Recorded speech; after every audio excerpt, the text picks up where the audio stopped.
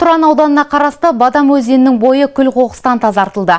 Мемлекет басшысының тапсырмасына сәйкес Таза Қазақстан экологиялық акциясын болашақ ұрпаққа үздіксіз насихаттау мақсатында Таза бейсенбі жобасы қолға алынған болатын. Содан бері қала, аудан, ауыл аймақтарында әр апта сайын тазалық жұмыстары жүргізіліп отырады.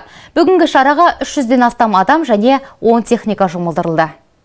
Таза Қазақстан жобасы елдегі экологиялық жағдайды жақсарту және өмір сүру сапасын арттыру жолындағы маңызды қадамдардың бірі. Тазалық пен тәртіпті сақтау, оны күнделікті өмірдің маңызды бөлігіне айналдыру мақсатында Аманат партиясының бастамасымен қолға алынған шара Бадам өзенінің бойында жалғасты. Мақсаты Бадам өзенінің бойын тазалау, арнасын тазалау, күл қоқыстан тазалау, сол жұмыстарды атқару болып саналады қазіргі таңда осы жұмысты атқаруға баршамыз атсалысып кірісіп жатыр.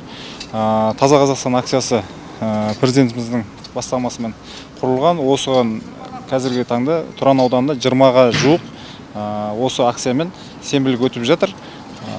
Ол жаңа бадам өзені бұның алдында да осы бадам өзенін бөліп бөліп тазалап жатырмыз.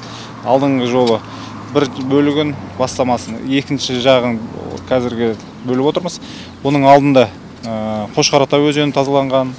Оны саябақтар аудандағы саябақ гүлзарларға абай саябағына қойғанбыз.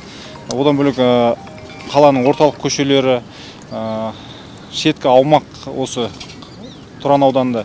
Қазығұрт құрсай мынау ақтас ақжар осы жақтың барлығында сенбіліктер өткен. Жаңағы мазарат аумақтарын базар аумақтарын барлық жерде одан бөлек қаланың орталығындағы көпқабатты үй аумақтарында ардагерлер үйінде бірнеше жерде осы таза қазақстан сенбілік акциясы өтті. Қазіргі таңда осы акция жалғасын табуда. Иә әр сенбілікте бізде осы жиырмаға жуық техникалар жұмылдырылады. Әр сенбілікте елу алпыс тоннаға жуық қоқыс күл қоқыстар шығарылып қала сыртында ақтас деген полигон бар. Соған жеткізіліп отырылады. Бүгін қазір жаңа айтып жатырмыз үш жүзге жуық адам қатысып жатыр. Он онға жуық техникалар тартылды осы сенбілікке. Онда үш жүзге жуық партия қызметкерлері ардагерлер жастар рухы жасыл ел еңбек жасағы және бастауыш партия ұйымының өкілдері тазалық жұмыстарын жүргізді.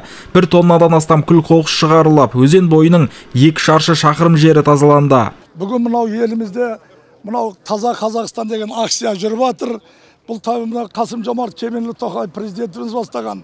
Аманат партиясы бастап жатқан үлкен іс бұл үлкен іс шара өйткені таза деген адам тек қана жер тазалау емес біз санамыз тазалау керек мынау отан деген не екенін білуіміз керек мынау кейінгі жастар осы мынау алдымыздағы ата бабаларымыз тастаған қасиетті жерді таза ұстаса санасын таза ұстаса біз өзімізге лайық үлкен мемлекет боламыз сондықтан да мынау аманат партиясы деген сөз аманат деген пайғамбар аманат деген тек қана бір сөз үлкен қай елде аманаттар жоғалса ол елдің бүлінгіті ол дін тіл.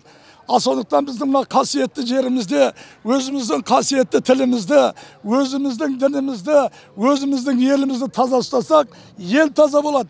Жалпы тазалық денсаулық кепілі атты сөзі ұран қылып еткен жасыл ел еңбек жасақтары қазіргі таңда бүгінде бүгін мемлекет басшысы айтқандай таза қазақстан экология акциясы аясында таза бейсенбі акциясына өте белсенді түрде қатысып жатыр. Бүгін тұран ауданына қарасты бадам өзенінің бойын тазалық жұмыстарын жүргізді. Және бұл іс шараға бұл акцияға жас ел еңбек өте белсенді түрде қатысып келіп жатыр. Қазіргі таңда бүгінге екі жүзден аса жас кеп қатысты. Және өте бір мардымды және нәтижелі жұмыс болды деп ойлаймын. Қазіргі таңда барлық аудандарда біз өте белсенді түрде қатыстық. Әл фараби жаңа қаратау тұран басқа да енді қаламызға аумағына кіретін бес ауданның барлығының таза бейсенбі акцияларына біз өте белсенді түрде қатысып жатырмыз. Айта кетейік таза бейсенбі экологиялық акциясы еліміздің барлық өңірлерінде жүзеге асуда. Бағдат базарбай дулат ергешбай айғақ қоғамдық телеарнасының жаңалықтар қызметі.